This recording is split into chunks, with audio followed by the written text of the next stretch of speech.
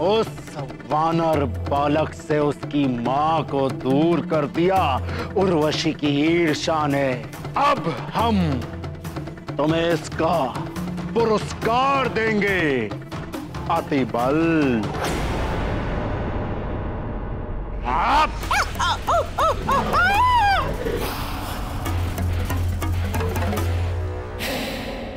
शुभ समाचार सुनाने के लिए हम तुम्हें पुरस्कार देते हैं अतिबल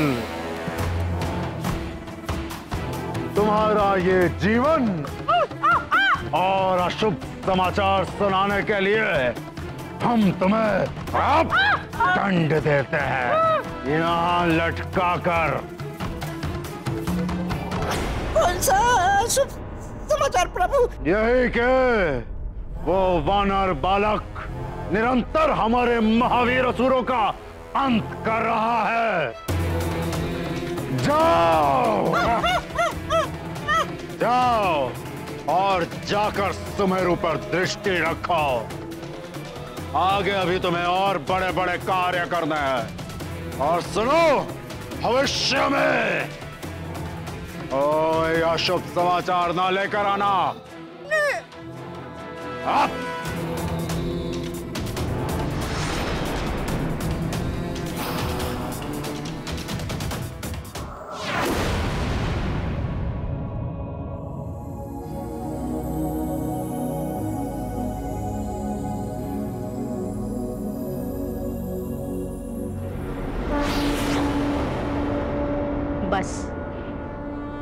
भी क्षण आती ही होगी पूंजी का स्थला।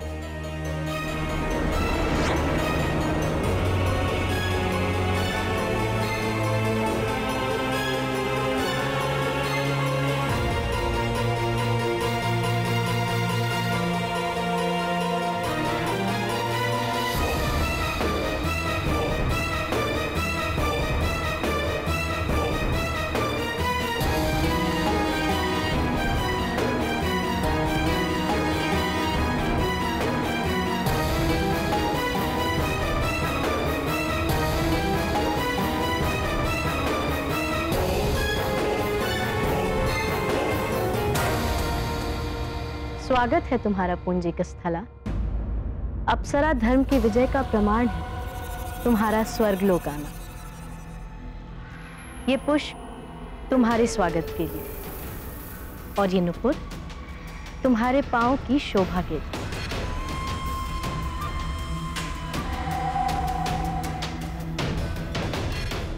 ये लो। पहन लो इन्हें। सुसज्जित हो जाओ। देव सभा में सब तुम्हारे नृत्य की प्रतीक्षा कर रहे हैं।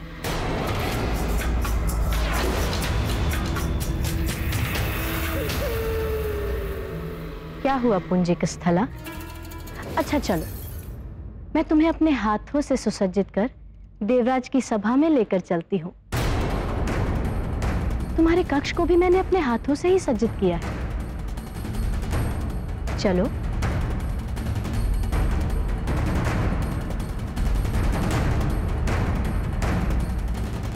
मैं देव संहिता का सम्मान करते हुए स्वर्गलोक अवश्य आ गई। किंतु अब मैं अप्सरा धर्म कभी नहीं अपनाऊँगी। मैं अंजना हूँ और अंजना ही रहूँगी। हनुमान की माँ अंजना, पुंजिक स्थला कभी नहीं बनूँगी मैं। अब से मैं स्वर्गलोक के मंदिर में ही रहूँ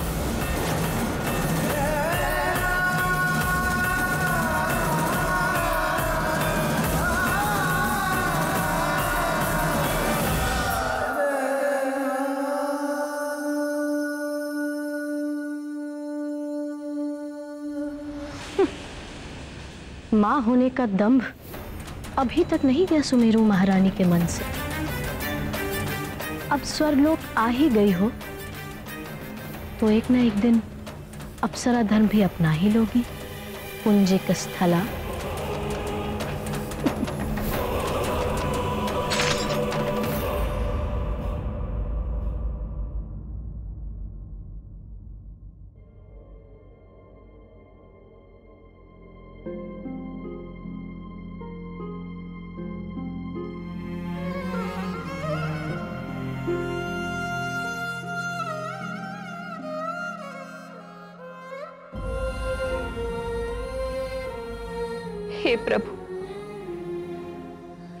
कैसे दिन देखने पड़ रहे हैं मुझे।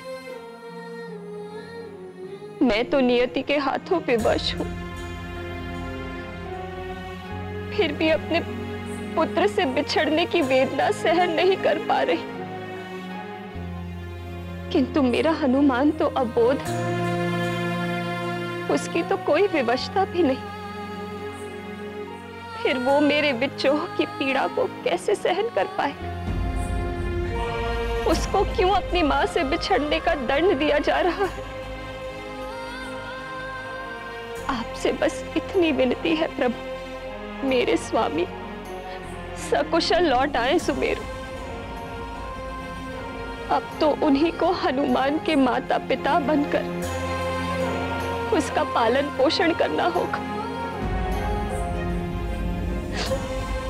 उन्हें इन परिस्थितियों का सामना करने की शक्ति प्रदान कीजिए। मेरी ममता रो रही है। मेरा बात वात्सल्य विवश है तड़पने के लिए।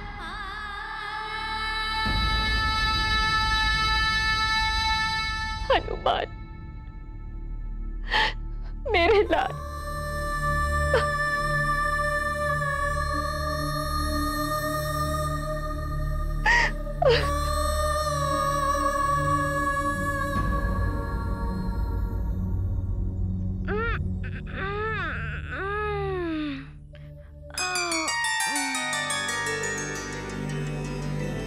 कराग्रे वस्ते लक्ष्मी करमध्ये सरस्वती करमुले तु गोविन्द प्रभाते करदर्शनम्।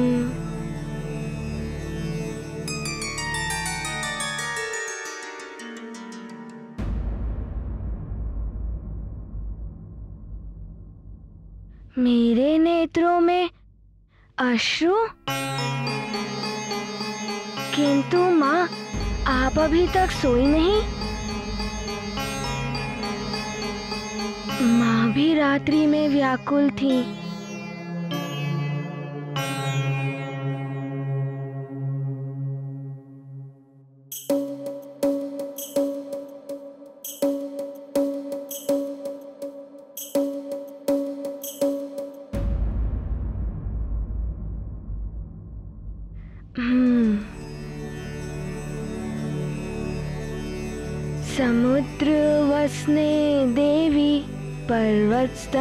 पर्वतस्तन विष्णुपत्नी विष्णु पत्नी नमस्तुभ्यं पादस्पर्शं क्षमस्व मे।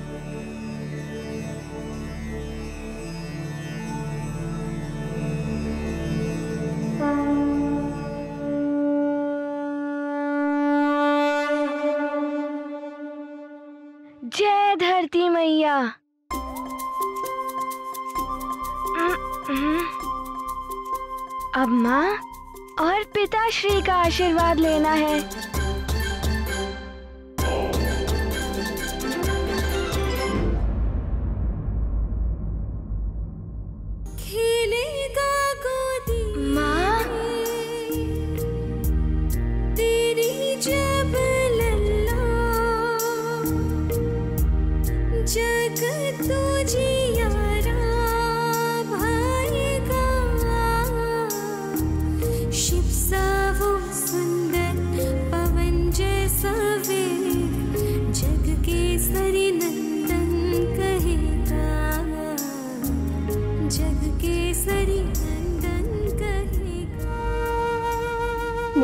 हनुमान मुझे अवश्य ढूंढ रहा होगा। मेरे बिना तो भोजन भी नहीं करता। और स्वामी मुझे वहाँ नहीं पाएँगे तो तो जाने क्या होगा। माँ, आप कहाँ हैं माँ? माँ माँ आप कहाँ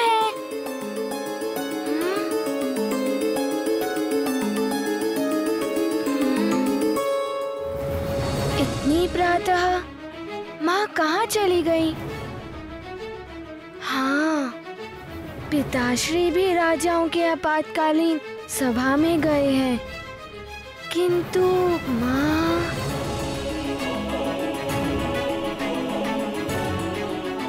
हम्म, देखता हूँ।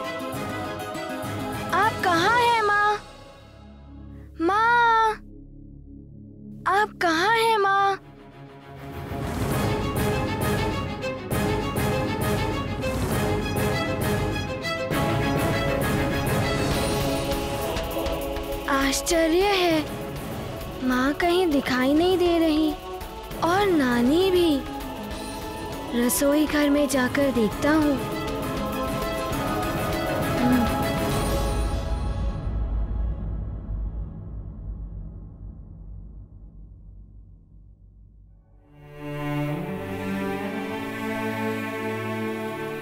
प्रणाम महारानी शची। प्रणाम। ये क्या कर रही हो पुंजिक स्थला? ये स्वर्ग लोग है। यहाँ तुम्हें हाथों से माला गूंथने की आवश्यकता नहीं। यदि इच्छा प्रकट करोगी तो स्वयं ही हाथों में माला प्रकट हो जाएगी। देखो। देखा तुमने? क्या आवश्यकता थी इतने श्रम की? क्षमा कीजिए महारानी जी। किंतु प्रभु की सेवा करने के लिए स्वयं के श्रम से बने वस्तु को अर्पण करने से ही पुण्य प्राप्त होता है। हम्म तुम्हारी बात भी सत्य है।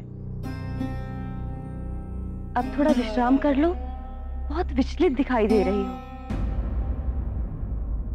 महारानी जी नारी एक अदृश्य किंतु अटूट धागे से जुड़ी होती है अपने परिवार के साथ।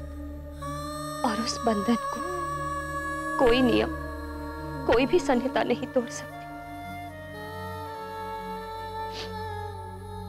मुझे मेरे परिवार से दूर कर दिया गया है। किंतु मेरा मन तो वही है। इसीलिए विचलित। यही सोच रही हूँ कि मेरा अबोध पुत्र क्या कर रहा होगा। मेरे बिना भोजन भी नहीं करता वो। कदाचित ही उसके पिताश्री लौट कर नहीं आए होंगे दंड कवन से? जो उसे संभाल लेते। माँ? माँ? आप कहा हैं, माँ? माँ, यहाँ पर भी नहीं है। और नानी भी कहीं दिखाई नहीं दे रही है।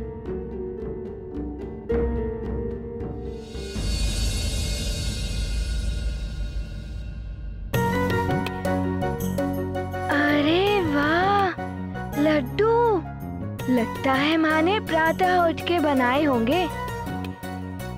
माँ कितनी अच्छी है। कितना ध्यान रखती है मेरा। किंतु माँ कहाँ है? और नानी भी।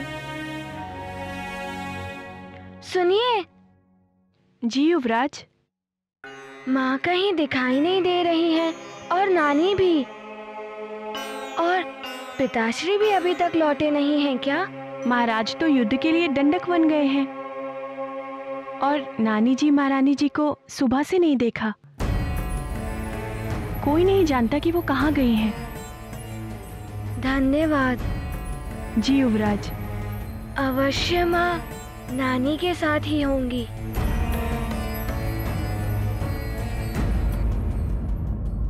माँ! माँ यहाँ पर भी नहीं है।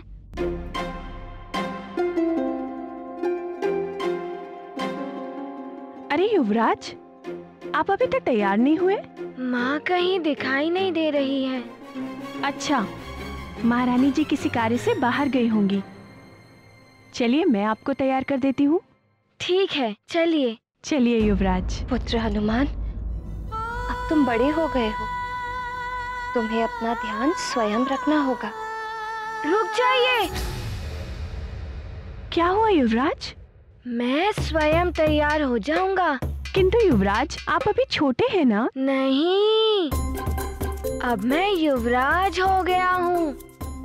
माँ भी कहती है मैं बड़ा हो गया हूँ। मुझे अपने कार्य स्वयं करने चाहिए। आप अपना कार्य कीजिए। मैं स्वयं तैयार हो जाऊँगा। ठीक है।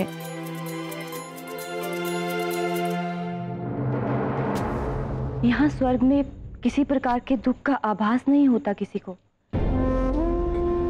किंतु मैं पुत्र विछोह का दुख समझ सकती हूँ। मैं जानती हूँ कि संतान उसकी माँ का ही अंश होती है। माँ और संतान भले ही कहीं भी हो, किसी भी लोक में हो। आत्म रूप से अवश्य जुड़े होते हैं। माता पिता के सुख दुख से उसकी संतान भी प्रभावित होती है। आप सत्य कह रही हैं महारानी जी। तो क्या तुम चाहती हो तुम्हारा पुत्र दुखी रहे?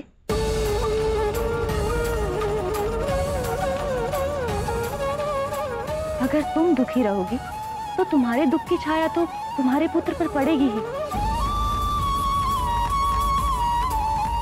हनुमान के सुख के लिए तुम्हें अपने मन से दुख को दूर करना होगा पुंजिक स्थला थोड़ा विश्राम कर लो, मन हल्का हो जाएगा। जी, महारानी जी।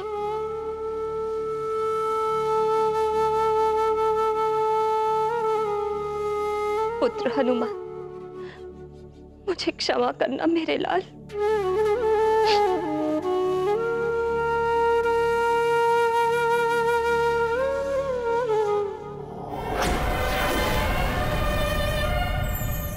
सखा, तुमने देखा?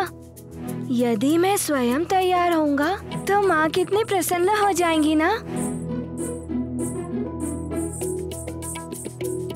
सखा, अब मैं तुम्हें भी स्नान कराऊँगा।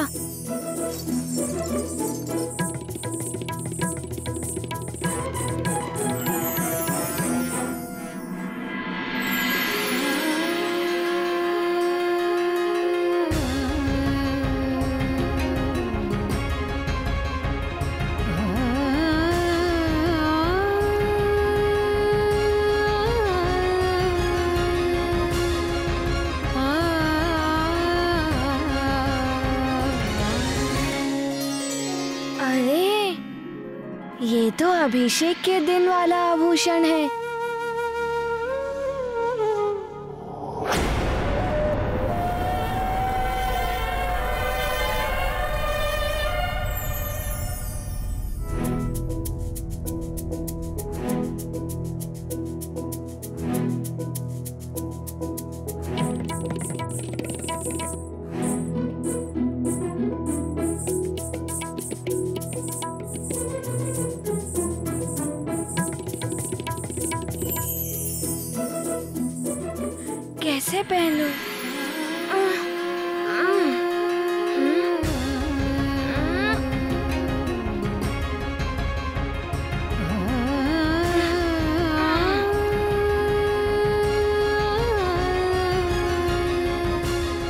लाइए युवराज मैं पहना देती हूँ अच्छे से।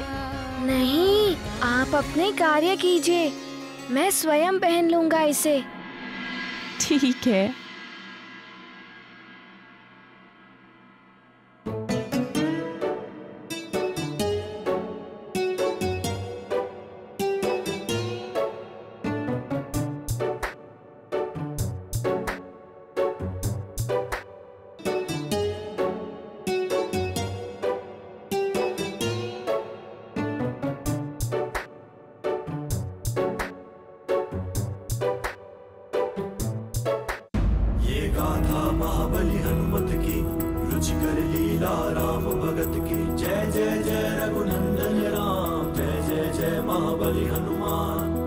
मान दिया है इतना ज्ञान।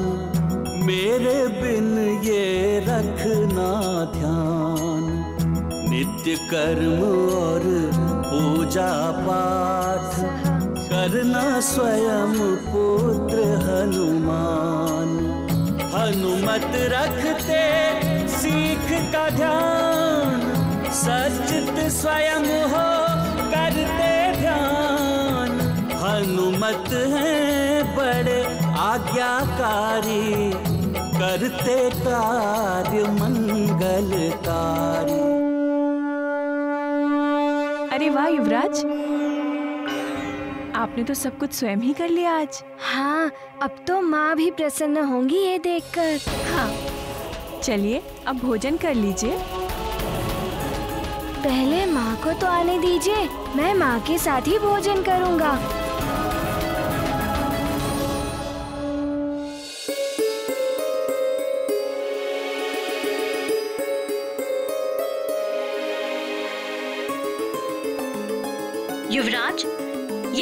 लड्डू, महारानी जी ने इन्हें अपने हाथों से बनाया है। इन्हें तो खा लीजिए।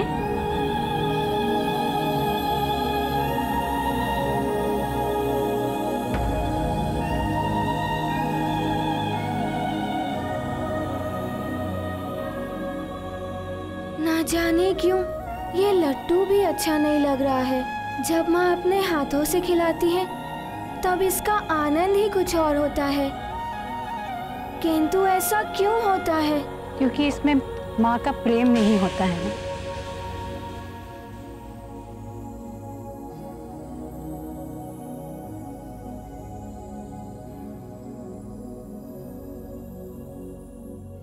नानी आप अकेली हैं?